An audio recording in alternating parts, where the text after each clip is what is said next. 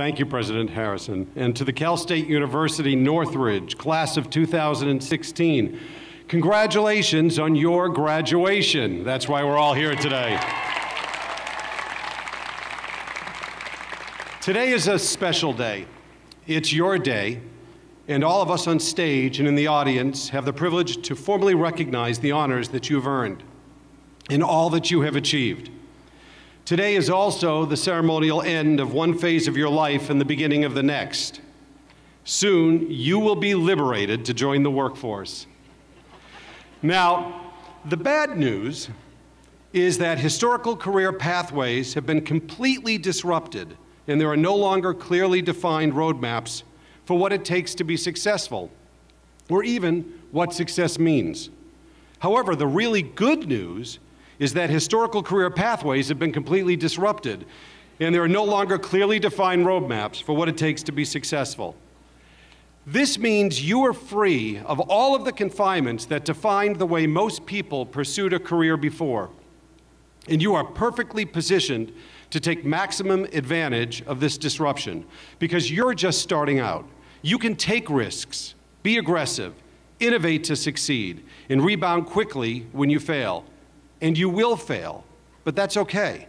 The start of your career is when you have the least to lose and the most to learn. It's also when you figure out what really motivates you, the nature of your operating ethics, and your own personal definition of success. Now, to figure this out, you've got to be clear about what matters most to you. Is it about doing work which you have a passion, or having financial security and material wealth? Is it about leaving a legacy, or creating a loving family? Is it about recognition, building something of your own, or just winning?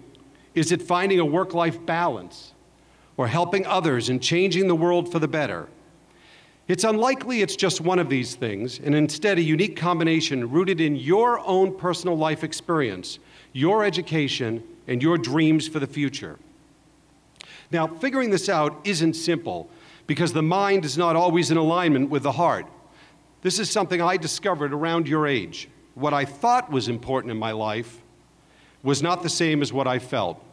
My career awakening occurred early in college, and pretty much all of my operating and leadership ethics crystallized in my first job. As you heard, like many of you, I grew up in the Valley. I went to Birmingham High School down the street, where I was a major band geek. And after high school, I went to UCLA because I thought I wanted to be a lawyer. Now, lawyers make good money, they have job security, and these are both qualities I, in a profession I assumed were important to my parents. While I was enjoying my freshman year, I found that if I had any spare time, I would rush from Westwood just down the street to Kennedy High School, where I would volunteer as the assistant marching band director. I loved working with students and realized I just couldn't pursue a career in law. I had to become a music teacher. Now, once I made that decision, I wanted to get the best training possible, so I needed to go to one of the best music and education schools in the country. So goodbye, Bruins, and hello, Matadors. When I told my dad about my plans, I vividly remember him asking, Will this work make you happy? And I told him teaching is a high unlike anything I'd ever experienced before. And without hesitation, he said, Do it and never look back. Now, what made that interesting to me is he went on to tell me for the first time that he never really loved his work and wondered what might have been if he hadn't taken the more traditional and sensible path. Knowing that he had spent his entire life working without enjoyment in order to provide financial stability for his family had an indelible effect on me. I resolved at that moment to only pursue jobs in which I couldn't wait to go to work, and my first job was that way.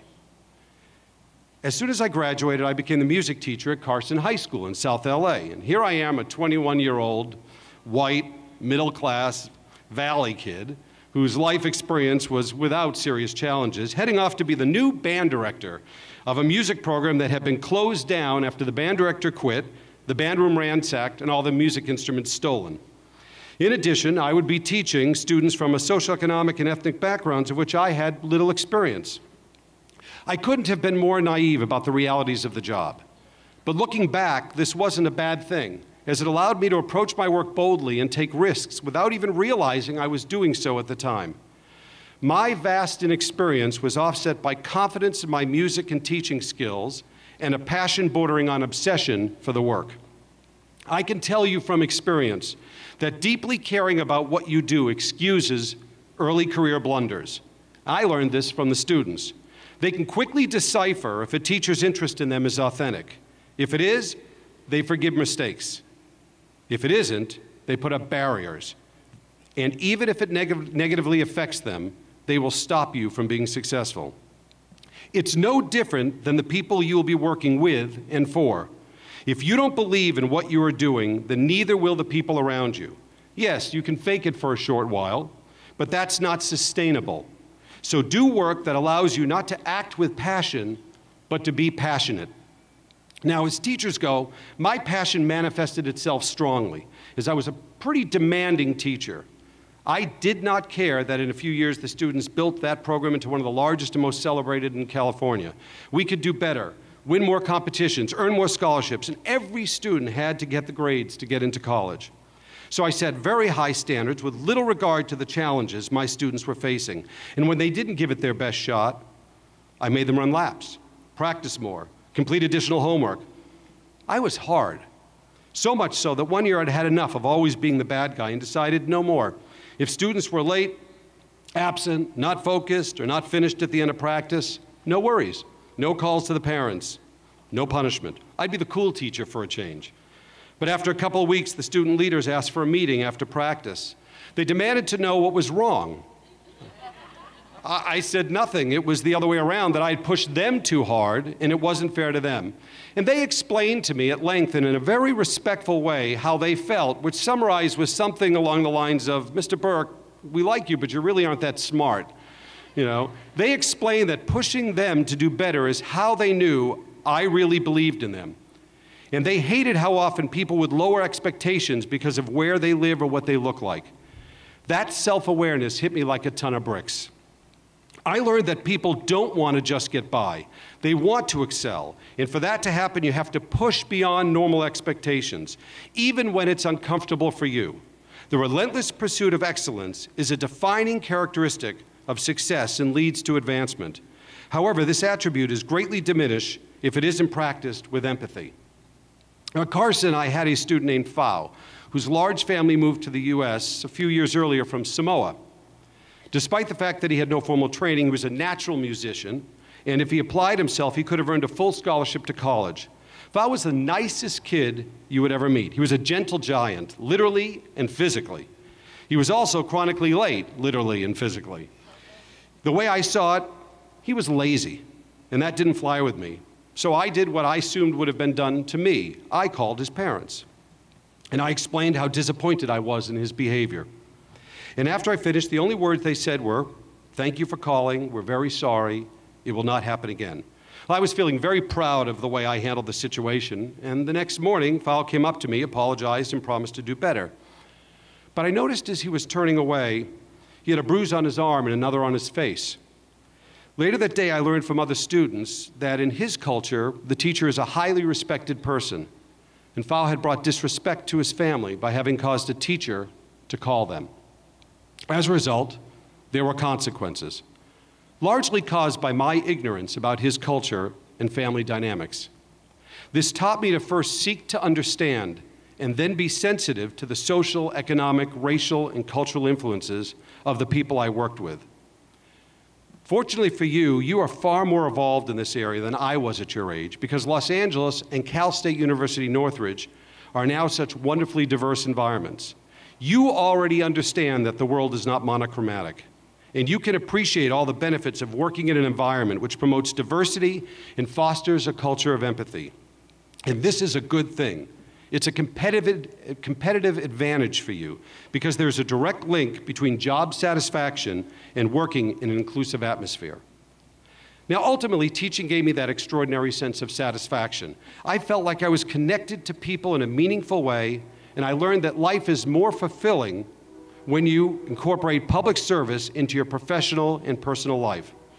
This doesn't mean you have to become a teacher or work in a nonprofit.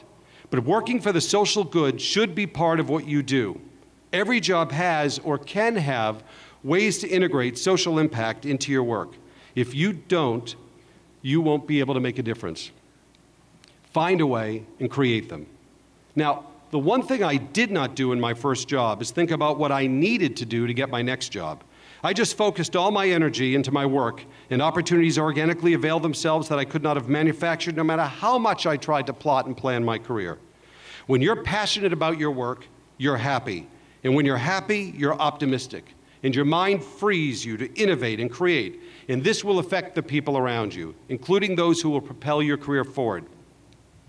As President Harrison so kindly mentioned, my career path has been unique, which is a kind word for really odd and strange. I've been a teacher, a school administrator, a music executive, and over the past 24 year, years, CEO of restaurant, hotel, education, and entertainment companies. Now, working across several industries was somewhat uncommon for my time, but it's different now. Many of you are more likely to span several types of work because your priorities are different than my generation and the world is changing much more quickly. Generational change is, well, it's no longer generational. Remember a parent or grandparent talking about what they didn't have growing up. And at some point they'd say, in my day, and you would look at them and think how weird it must have been to grow up without all those things and that they were kind of old. Now, think about how old you were just 10 years ago, a little over 10 years in 2004. Most of you were in your teens.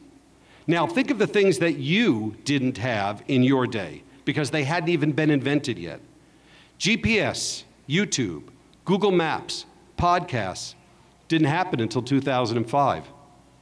Blu ray, Twitter, the first stadium seating in movie theaters wasn't until 2006.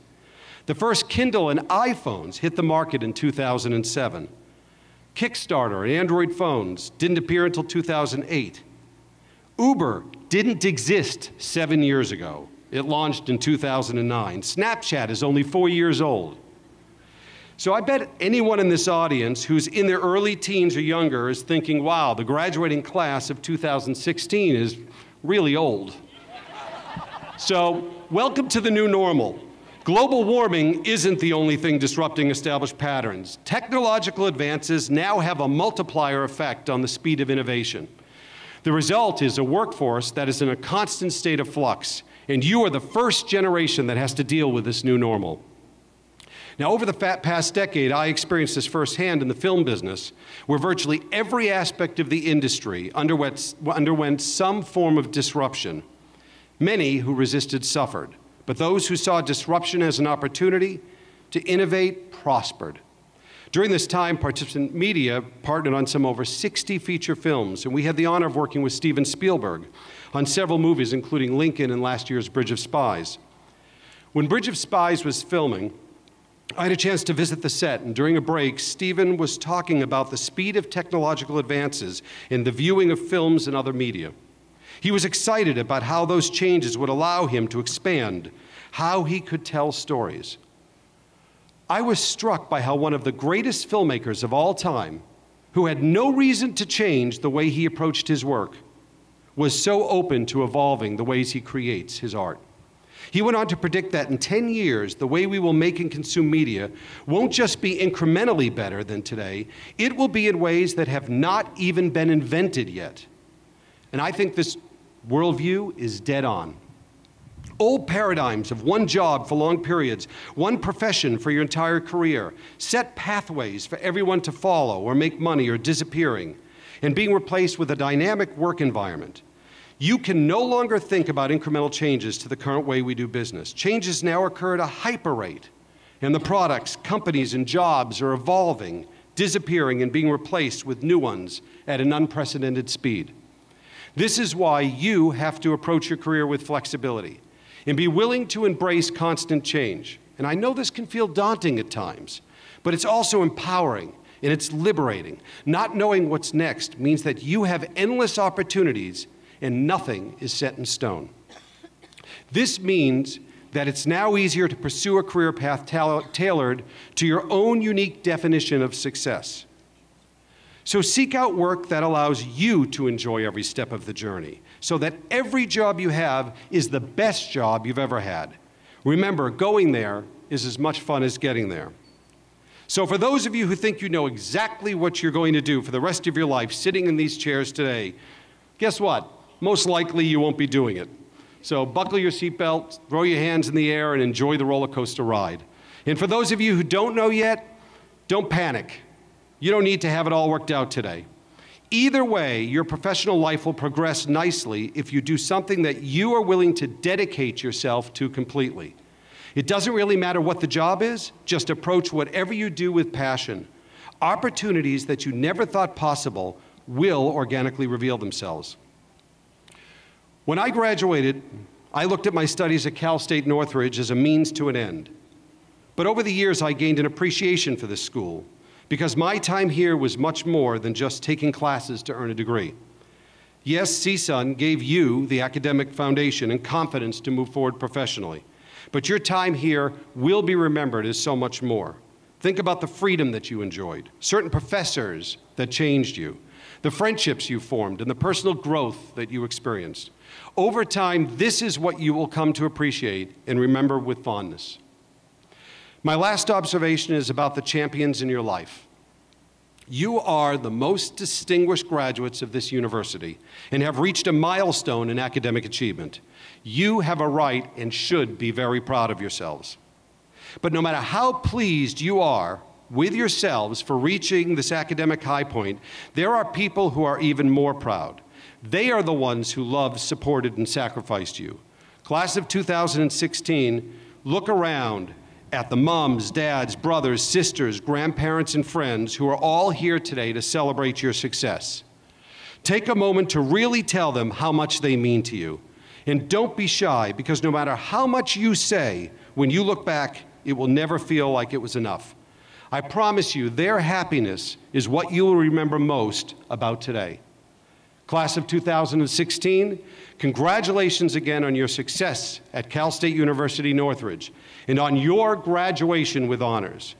Best wishes for a career that matters, a life of purpose, and in making the place, the world, a better place to live. Thank you.